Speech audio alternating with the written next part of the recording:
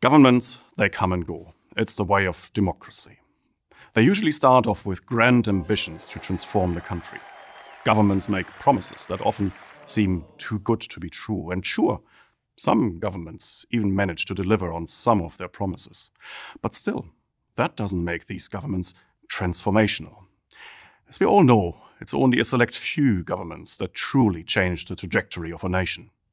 In New Zealand's history, there used to be only two such transformational governments. The first is the Labour government under Prime Minister Michael Joseph Savage in the 1930s. It created the modern welfare state. The second government that merits mention is the fourth Labour government by Prime Minister David Lange, which governed from 1984. It brought about sweeping economic and social reforms, liberalising New Zealand. So the question today is this Did we just witness a third transformative government in New Zealand's history. Would it be right to compare the administration of former Prime Minister Jacinda Ardern to the likes of Savage and Lange? Has Ardern altered the course of New Zealand? Well, it's certainly premature for any definitive conclusions at this stage. History has shown us that the true impact of events can only be fully understood with the benefit of hindsight. Nevertheless, it's fair to say that Ardern's administration did not maintain the status quo. In fact, Ardern deviated from the policy consensus that had been in place since the late 1980s. Only time will tell if the country continues to follow that path or if Ardern's policies will be quickly undone. So, let us look at Ardern's legacy, and especially her economic legacy. Before she became Prime Minister, you might not have expected her to leave a big mark on economic policy. At least, she'd never shown much interest in economics.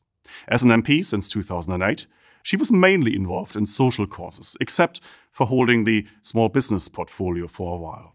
But as Prime Minister, Ardern lost no time to revolutionize New Zealand's economic policy framework. In particular, she set out to undo the decisions of the fourth Labour government.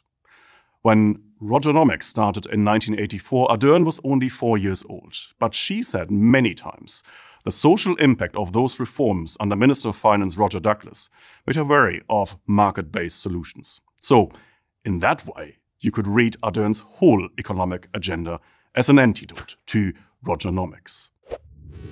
That was a significant change from Ardern's predecessors because, despite their differences, all governments since the late 1980s had previously followed roughly similar policies limited government, an independent reserve bank focusing on price stability, balanced budgets through the economic cycle, liberal labor markets, and a limited social safety net. However, under Ardern, the basic pillars of New Zealand's post 1984 settlement were demolished one after the other.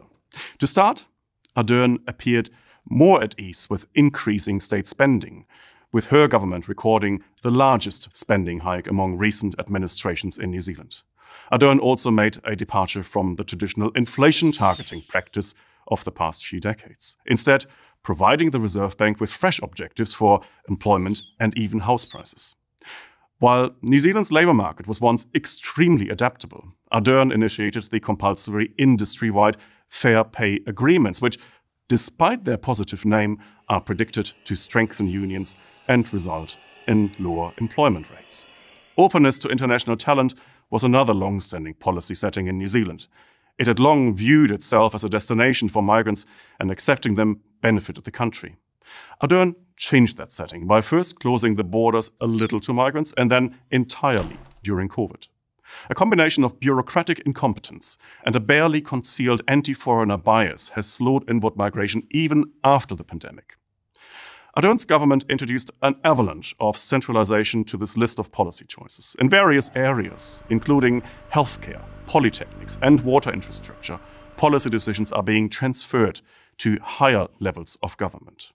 As a result, bureaucracies that make these decisions have become cumbersome and distant from the people they are supposed to serve. So, Ardern's economic approach placed a much greater emphasis on the role of the state, and it changed the basic settings which had been in place for more than three decades before.